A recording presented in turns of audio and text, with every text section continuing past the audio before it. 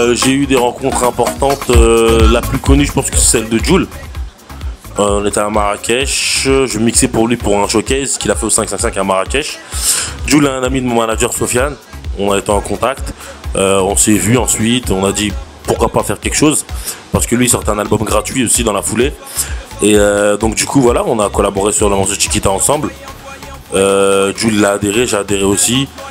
On a collaboré juste simplement sur un morceau le feeling est passé. Après, on n'avait pas anticipé ni prévu le, le, buzz que le morceau aurait. Quoi. Et ça a fait 140 millions de vues au jour d'aujourd'hui. Voilà,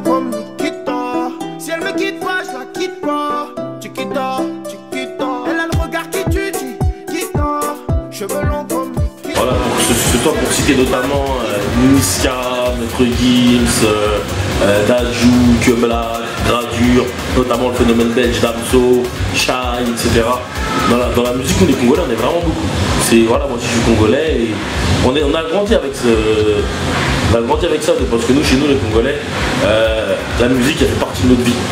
On chante dans les anniversaires, les mariages, mais on chante aussi pendant les décès. Donc euh, chez nous, voilà, on a grandi avec la musique, donc c'est pas étonnant que la jeunesse qui pleure aussi, il y a beaucoup de Congolais dedans. Parce qu'on est né dedans.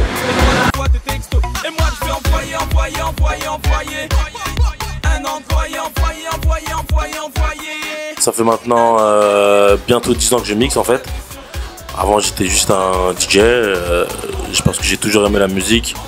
Donc voilà, j'ai voulu la transmettre aux gens. Pour moi, être dans un club et faire danser les gens, je pense que c'est l'un des meilleurs métiers. Pour moi, c'était une passion à la base.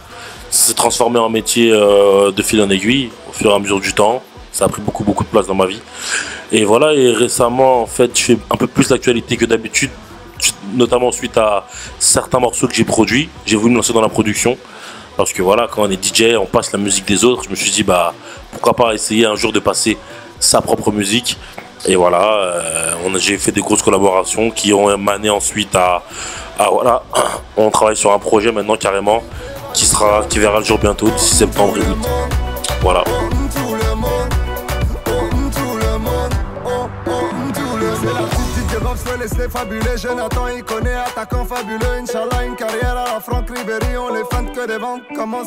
à non-stop, j'les choque, j'suis au top. Votre game, j'le fuck. Classez-moi dans la pop, classez-moi dans la pop. Incroyable dans la loge, je fume pas de clope. Les Renzo qui veulent jouer les belles là.